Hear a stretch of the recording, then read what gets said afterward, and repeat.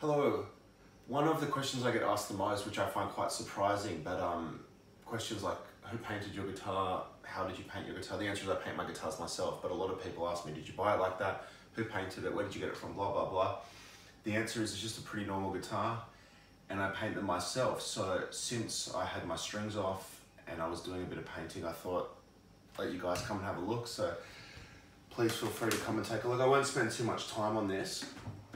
Um, I just use really basic paints. These are just the cheapies you get from the supermarket or whatever. Students acrylic, Chromacryl, uh, Montmartre acrylics. I guess they're acrylic paints.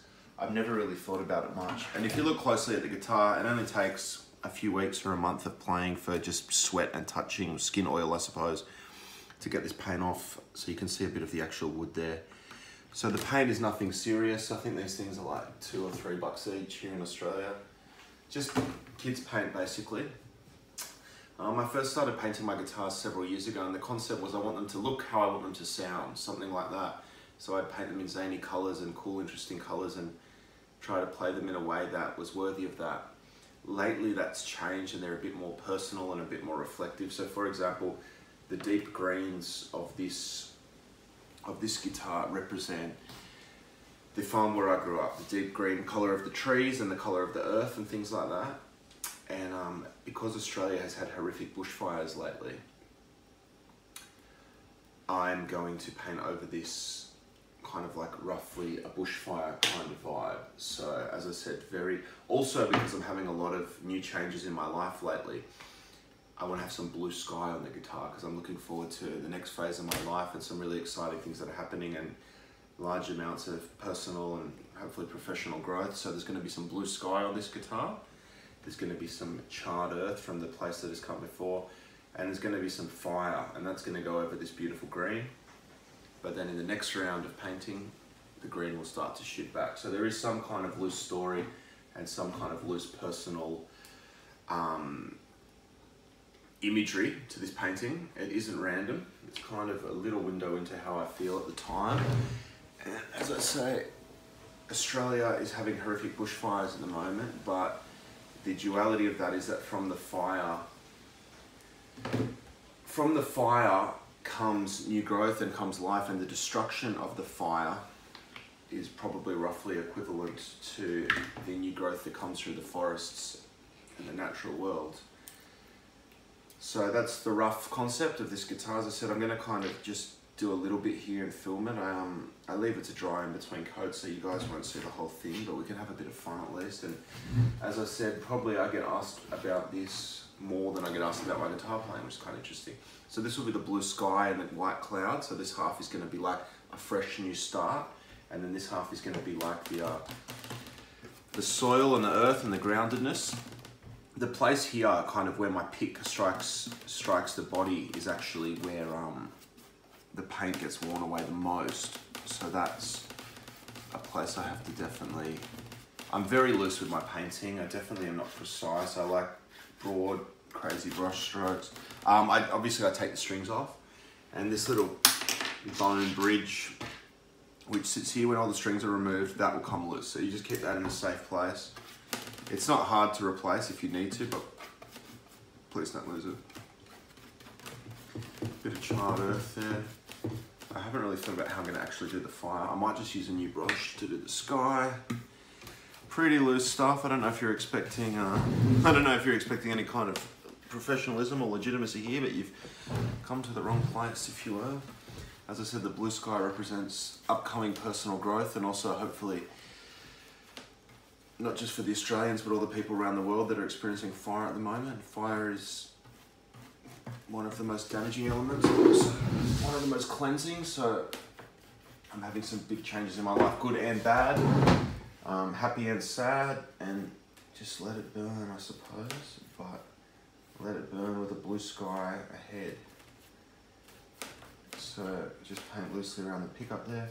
One of my painting things, which my girlfriend absolutely hates, is that I wear, I don't wear like uh, old clothes. I kind of wear my favorite clothes when I paint. And one of the reasons for that is that uh, it makes you more precise because you'll ruin a few sets of clothes painting and then you won't do it again.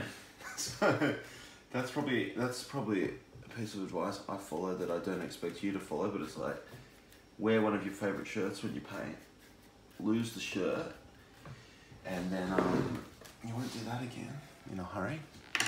Same, I don't put anything under the table. I know I'm going to get a bit of paint on the table. I know I'm going to get in trouble. And that's just part of the fun.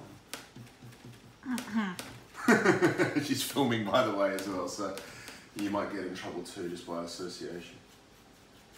Alright, cool. I love to mix paint together. And now that we've kind of got the half and the half, let's put a bit of fire in there, a bit of actual fire. Fire. Um, yeah, I definitely don't know how to paint. So it's all just a bit of fun. And it's funny because when I do the, like the YouTube guitar lessons, I tell people not to try and play guitar like me, even though on the guitar I have many years of experience and many years of passionate effort. So while I am not really impressed with my own guitar playing, at least I have a foundation there. With this, I've got no frigging idea what I'm doing, so definitely don't listen to me about this. Paint, painting fire, obviously fire's violent, it's bloody. Just get some fire on there. So I've been having some, some good times and some tough times, but either way, I'm gonna burn it all down. Burn it all down and start again. Um, just get some more bright colours. What's of yellow. And yeah, I'm not gonna film this whole process. Oh Jesus, that is so much yellow paint. Um, that's way too much and it's all over the table. So we're in trouble. But what I'm gonna do, what I'm gonna do, because I just had way too much yellow come out, I'm just gonna put it onto this other guitar which I was planning to paint soon enough anyway. Alright. Um, let's just quickly get this stuff here. Should probably wipe the table.